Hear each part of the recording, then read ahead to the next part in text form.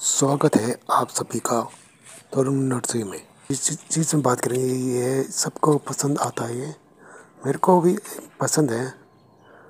उम्मीद करता हूँ आपको भी पसंद होगा।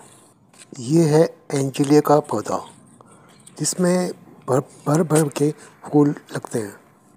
दो टाइप के होते हैं, सिंगल और डबल। सिंगल में तो फूल भर भर के आते हैं।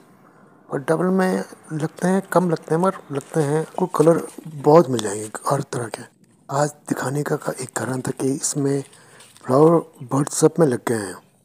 पर अभी छोटे हैं तो आपको मेरे मेरे कैमरे से दिखेगा नहीं इसी तरह इसी तरह थोड़ा वेट करना पड़ेगा। अगले महीने मार्च तक इसमें पूरी पूरी तरह कली आ जाएँगी ना। मदर प्लांट मेरे पास दस करीब हैं। जिसमें डिफरेंट डिफरेंट कलर कलर हैं।